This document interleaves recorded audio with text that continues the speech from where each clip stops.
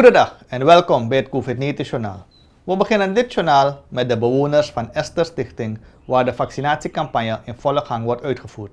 Stichting Esther stelt zich ten doel het helpen van mensen met lepra. De stichting bestaat al 70 jaar.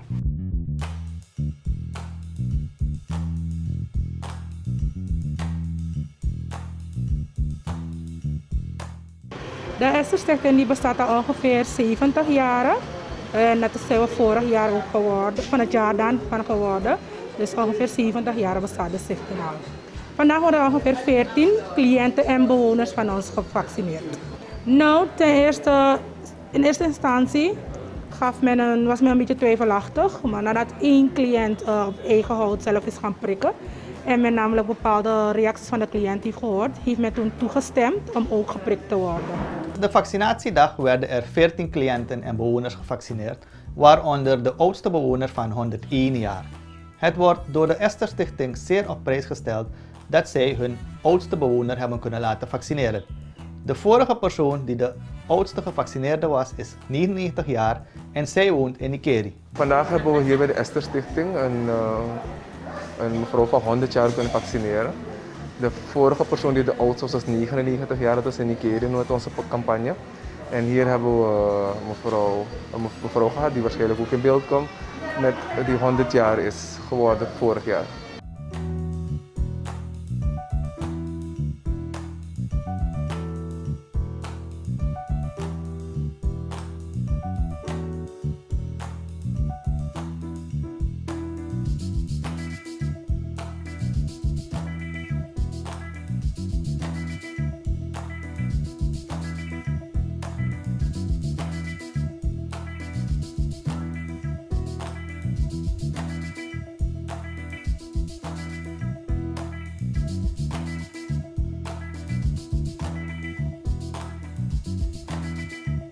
Er zijn nog steeds twijfels over het vaccin. Laat je niet gaan door de valse berichten die verspreid worden. Laat je spoedig vaccineren. Er is, nog hier, is hier en daar is er nog wat twijfel vanwege ook alle berichten die men volgt in de media. Maar we merken ook als we op de verschillende plekken aankomen, hebben we meestal een voorregistratie. En altijd wanneer we aankomen zijn er veel meer mensen dan verwacht, omdat de een vertelt de ander, of de een ziet dat de ander is gevaccineerd en melden zich toch aan. Het, is, uh, het is een veilig middel. Elk middel heeft zijn bijwerkingen. Ik heb het een paar keer ook al aangegeven in, in vorige interviews. Maar de voordelen wegen veel zwaarder dan enkele nadelen die er kunnen zijn. In Brazilië hebben sommige ziekenhuizen geen verdovingsmiddelen meer. Coronapatiënten moeten daar nu onverdoofd aan de beademing. Om de patiënten in bedwang te houden, worden sommigen vastgebonden. Een marteling, zegt een IC-arts. Ik had nooit gedacht dat ik zoiets nog zou meemaken, na 20 jaar te hebben gewerkt op de intensive care, zegt de IC-arts. Hij noemt het onverdoofd beademen en vastbinden van patiënten een vorm van marteling. Ook op het eiland Curaçao is de coronasituatie nog niet onder controle, ondanks hoopvolle cijfers van de afgelopen dagen. Vandaar dat de regering al daar besloten heeft de maatregelen te verlengen. Zo geldt er op het eiland de avondklok, welke verlengd is tot 30 april. Op Curaçao gaat de avondklok in om 7 uur en duurt dagelijks tot half 5. Sinds de pandemie Curaçao bereikt heeft, zijn er tot nu 12.000 mensen besmet met het dodelijk virus. Dat is ongeveer 10% van de bevolking. Momenteel worden er 100 patiënten behandeld op de IC van het ziekenhuis in Willemstad. Het eiland telt 157.000 inwoners. De oproep naar de bevolking toe om zich te laten vaccineren is enorm groot. Er moet maximaal 85% van de bevolking gevaccineerd worden. CEHOS is nu ook bezig om ons 33 bedden te geven voor patiënten waar, die we daar kunnen plaatsen. De strategie is, is om patiënten die uh, low care, medium care zijn bij CEHOS te plaatsen en dan die high care hier bij CMC. Maar we moeten toch wel afwachten, want meer bedden betekent ook dat je meer personeel nodig hebt en meer beademingsapparatuur. Dus dat, daar zitten we nu eigenlijk mee. Even herinneren aan de onderzoek van Pfizer in de fase 3 trial. 44.000 mensen, 22.000 mensen in één groep placebo, 22.000 mensen in de andere groep die de vaccin krijgen. In de placebo groep 168 mensen kregen COVID, een paar gingen naar het ziekenhuis. In de groep met de vaccin, 22.000 mensen, 8 kregen COVID, 0 naar het ziekenhuis, 0 doden.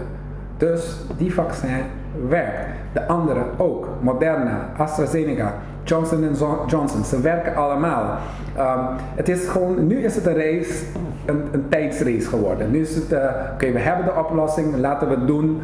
En um, het ziet er goed uit, want het, de druk op de ziekenhuis moet omlaag. In de afgelopen week werd er weer gevaccineerd onder de senioren burgers. Zo was het de beurt aan Huizen Emma. Het bejaardentehuis Emma Huis, onderdeel van het Leger des Heils, werd door de zusters Emily en Harriet Alvarez in 1921 opgericht. Nadat het bejaardentehuis 26 jaar lang door de zusters werd gerund, droegen ze het drie jaar na oprichting van het Leger des Heils Suriname op 1 mei 1927 officieel over aan de kerkelijke instelling.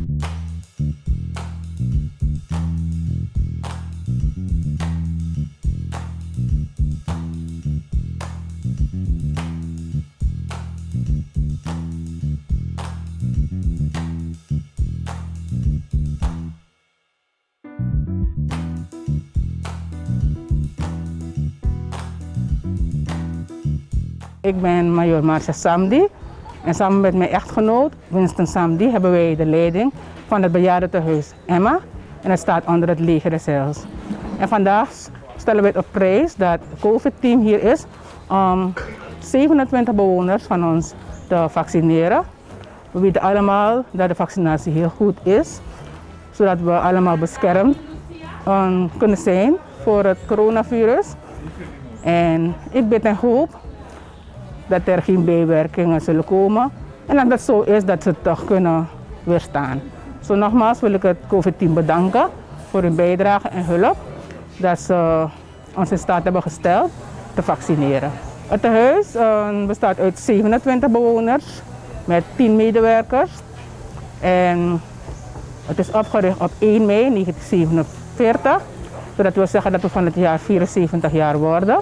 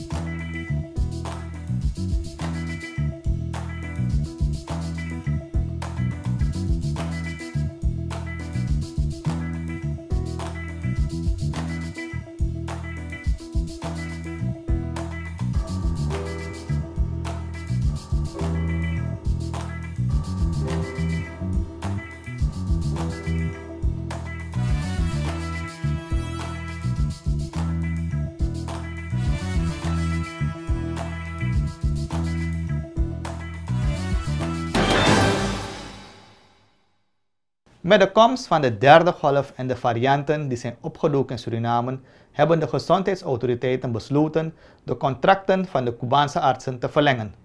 Er was in Suriname een missie van de artsen, welke in maart is geëindigd.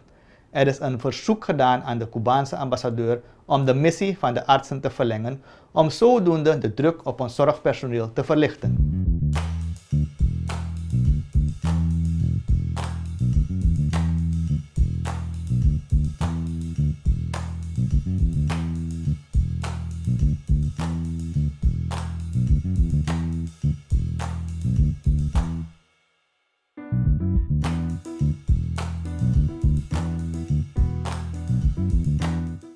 We hebben een verzoek gedaan aan de Cubaanse ambassadeur om de missie te verlengen. En uh, dat is vandaag wel gehonoreerd. Ik heb daarom ook gesproken met de Cubaanse artsen en de verpleegkundigen. Ik heb ze bedankt voor hun bijdrage aan de dienstverlening tijdens de eerste golf, tijdens de tweede golf. Laten we eerlijk zijn, zonder die bijdrage hadden we zeker andere cijfers. We zijn er nu op 180 zoveel uh, overledenen. Zonder adequate zorg van, uh, en genoeg personeel zou dat zeker hoger kunnen liggen. Dus uh, met een derde golfopkomst moet je geen kansen nemen. Dan moet je minder kijken naar dat financieel aspect. En dan hebben we daarom dat verzoek gedaan, vandaag ingewilligd. We hebben gesproken met de Cubaanse artsen, aangegeven dat we dankbaar zijn voor hun inzet en dat we, dat we nu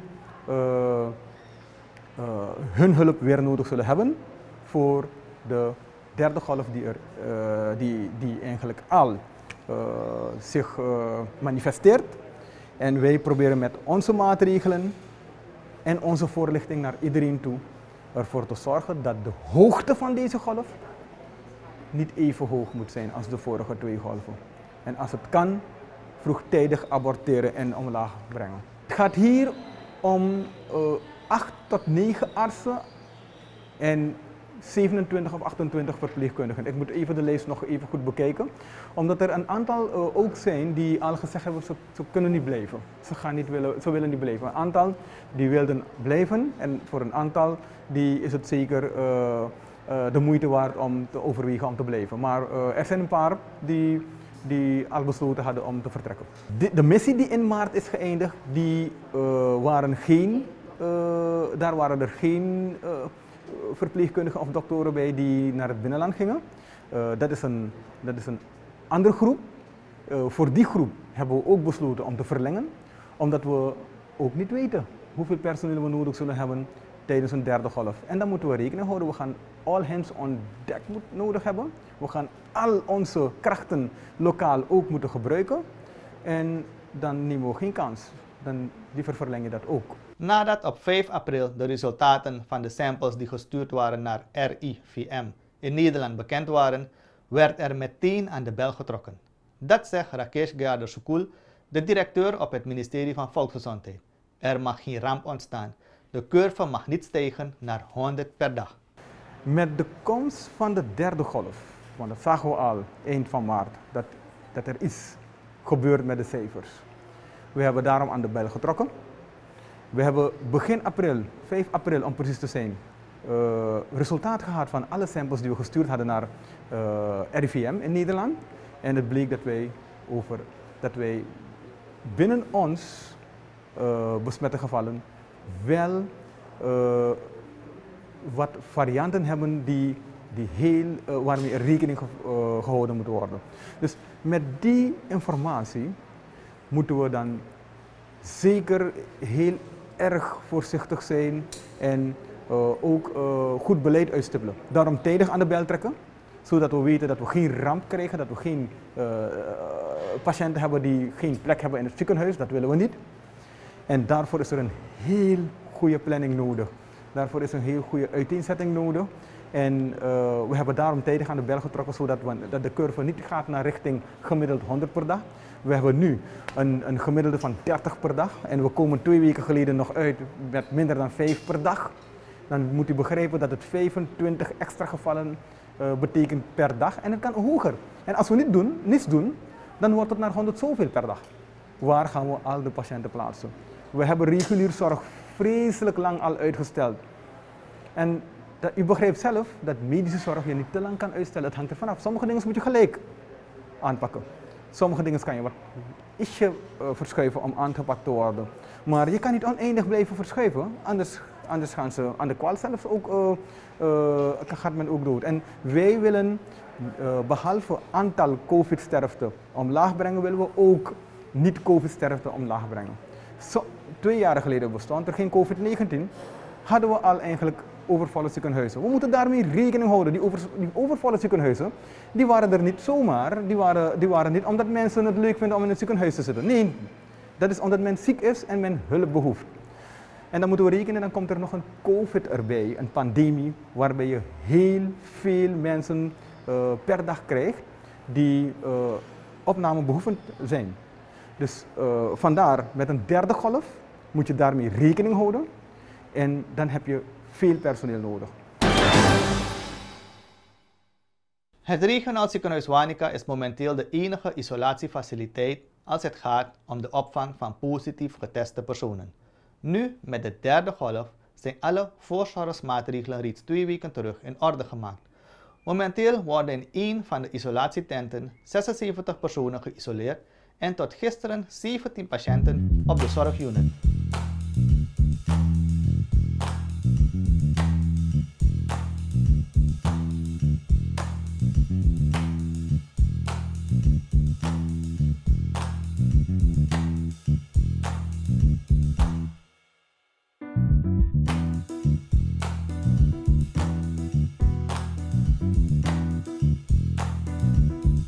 Nou, u merkt het zelf aan de cijfers. Uh, momenteel is het regionaal ziekenhuis Wanica de enige isolatiefaciliteit.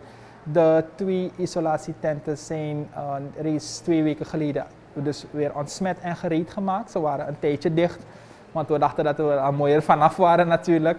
Maar oké, dit uh, we hebben ook hierop geanticipeerd. Um, de totale gezondheidszorg. En de tenten zijn dus nu weer operationeel, de isolatietenten. Ik heb momenteel denk ik in tent 2 76 patiënten liggen, isolatiepatiënten. Uh, in tent 1 die is nog niet in gebruik. En ik heb dus aan zorgpatiënten op de unit, ik denk vandaag 17, maar het wordt dus ook meer. En ook de overige ziekenhuizen hebben dus patiënten liggen op de zorgafdelingen van um, hun COVID-zorgafdelingen.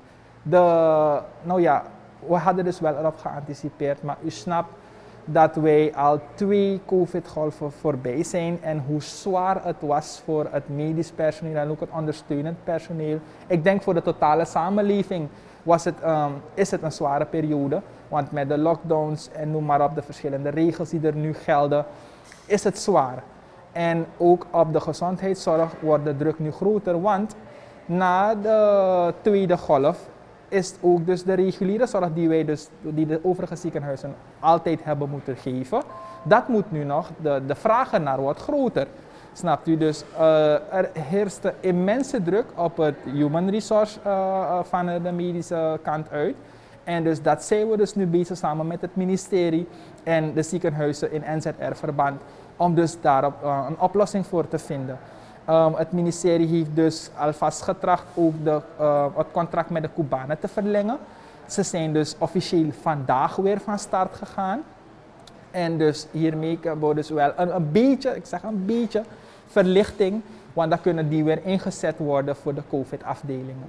Als zorgverlener moet je altijd ready zijn en standby zijn om, om de zorg te kunnen verlenen. Toch? En je kan aangeven, je, je, je bereidt je voor. Maar je, kan je, niet voor, je weet niet hoeveel binnen gaan komen. Je kan niet zeggen van oké, ik bereid me voor op, op 20 patiënten vandaag. En er komen bij wijze van spreken 60 positieve binnen. Dus het is elke dag, gelooft u mij, met alle actoren zitten we meestal rond 5 uur, 6 uur te, te wachten op de resultaten die binnenkomen van het Centraal Lab en het, het, laboratorium van het AZP om te kijken van hoeveel hebben we vandaag, waar gaan we ze inzetten. De specialisten ook, de, de, de mevrouw uh, Lieke Wache, die de verantwoordelijke is als, als internist-infectioloog, die gaat kijken, oh mijn god, welk ziekenhuis heeft nog plek, welke isolatieplekken zijn nog vrij. Elke dag zitten we dus daarop te anticiperen. Dus voorbereid kan je zeggen, je kan je nooit echt voorbereiden op, op, dit, op dit vakgebied. Kan je jezelf niet voorbereiden van dit gaat gebeuren. Want soms gebeurt altijd hetgene wat je niet verwacht. En als u naar dit journaal kijkt, let erop. Suriname is vanaf 6 uur in een total lockdown. Dat wil zeggen dat jij tussen 6 uur vandaag tot maandag 5 uur in de ochtend jij je niet op straat mag begeven. De politie zal niet schromen jou ernstig te beboeten zoals de minister van Justitie Kenneth Amoxi heeft gewaarschuwd. Laten we ons AUB aan de regels houden en blijf in je huis. Stop de verspreiding en voorkom het ernstige voor jou en je familie. We worden ook bedreigd door de COVID-19-pandemie. Als je kijkt, dan zijn we ook een derde golf op komst. En ook wat betreft de maatregelen die getroffen zijn door de regering, worden niet helemaal nageleefd. Dus in ieder geval, we verzoeken de gemeenschap om de COVID-maatregelen in acht te nemen, zodat wij ook ons medemens kunnen beschermen. En met deze oproep hebben wij het gehad voor vandaag. Let goed op jezelf en heb een veilig weekend. Besteed je tijd tijdens de lockdown nuttig en creatief. We zien elkaar maandag weer met een nieuwe aflevering. Untamboom.